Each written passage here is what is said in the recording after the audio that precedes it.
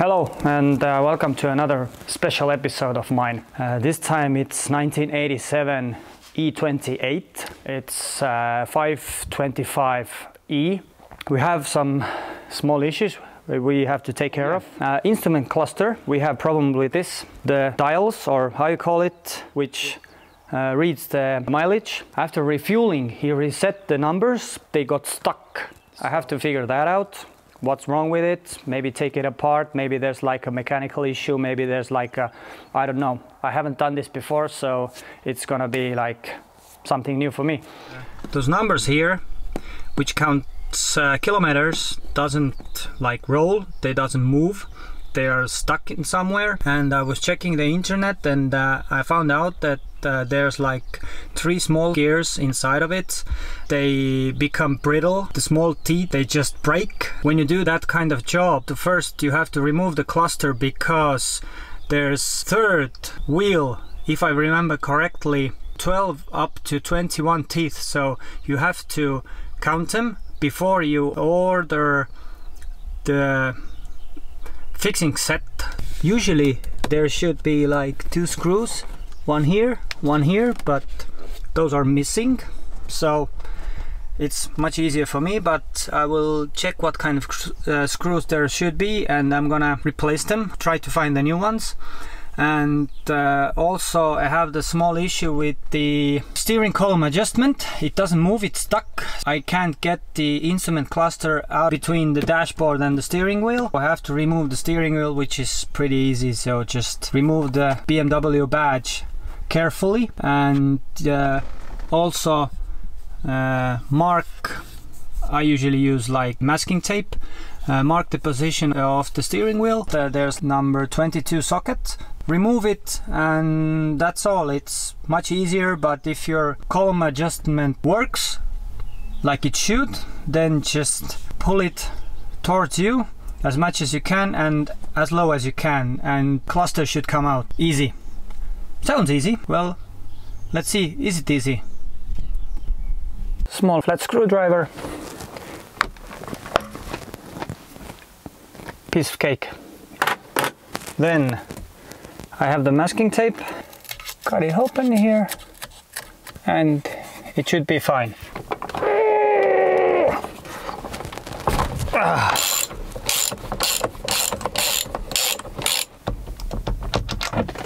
As I told you before, I don't have the screws up here. I'm using the uh, trim panel tool.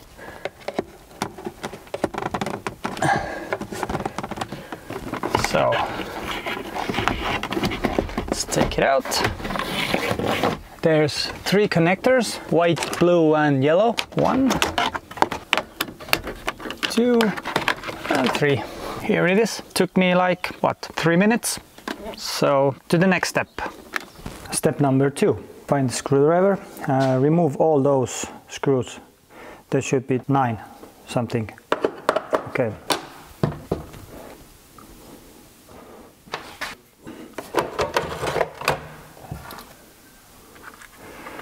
and here's the issue here are the gears this one two and one at the bottom that's three i need to count the lower one's teeth one by one. So i'm gonna take it apart and i'm trying to count it. I hope i don't mess it up. Now there's um, two flat screws one here one here. Uh, remove them. Now there's a transparent cover. Slowly and carefully. Maybe you should remove these as well.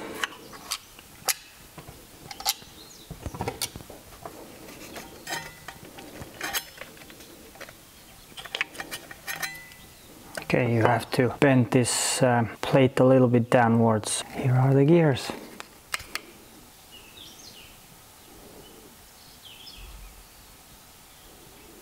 Just pull them off like this one and two this is the gear we need to count uh, lower gears those we need to count here as I checked there is 12 up to 21 gears so let's count them so I'm gonna just mark the first one so I know 1, 2, 3, 4, 5, 6, 7, 8, 9, 10, 11, 12 and 13. Actually there is uh, marked the number of the gears. Lower one 13, upper one 48. I don't know, are all of them uh, have the markings on the gear? I have no idea, but mine has. So I finally got the gears from this company and there's three gears in that small bag.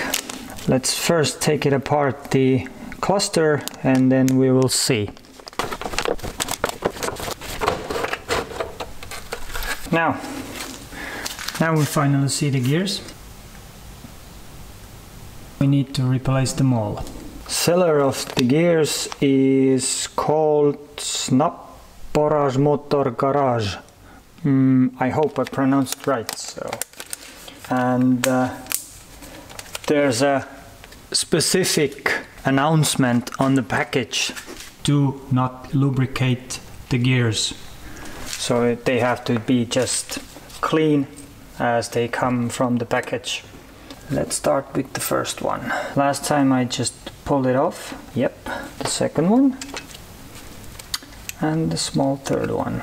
That is stuck. But now we have a little problem. The sleeve stuck on the shaft.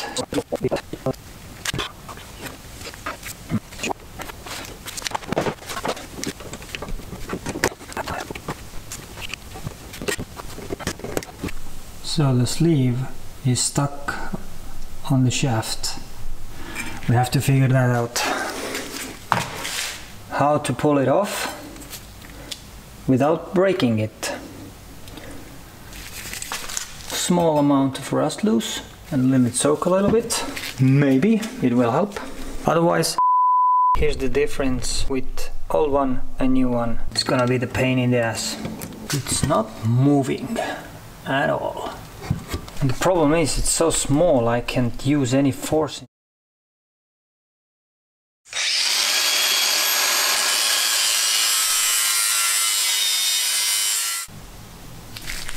I hope this helps. Yeah, I'm a genius. You probably don't see it, it's too small, but... Now, let's clean it. Just push it almost down. Uh, at least the instructions says uh, leave about 0.5 millimeter cap under here. But it's almost the same like the old one. Just to make sure that they're lined up, they're perfectly like they should be.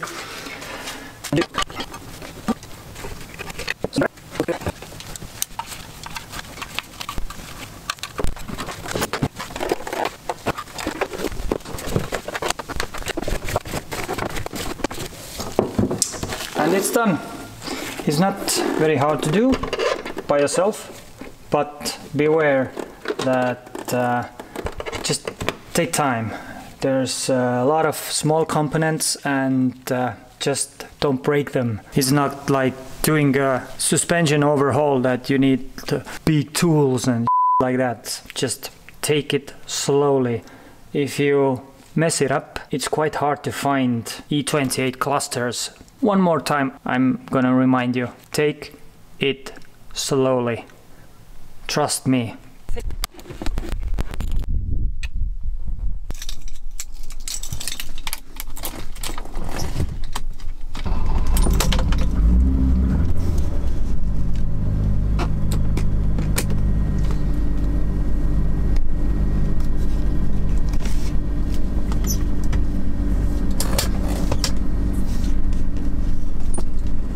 So let's see.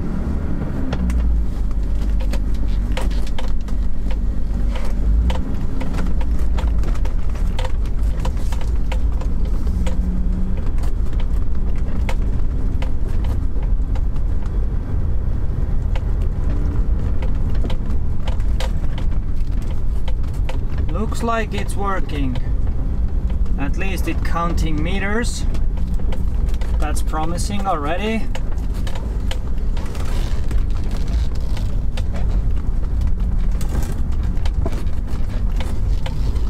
before I drove here it didn't count any any meters or kilometers at all so looks like a success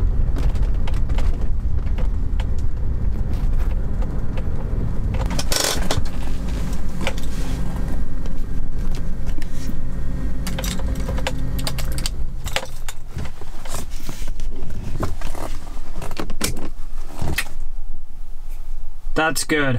That's good. So the job is done and I hope you enjoy the video and if you have something to say then there's comment section below and don't forget to subscribe. Thank you and I hope you see you soon. Bye.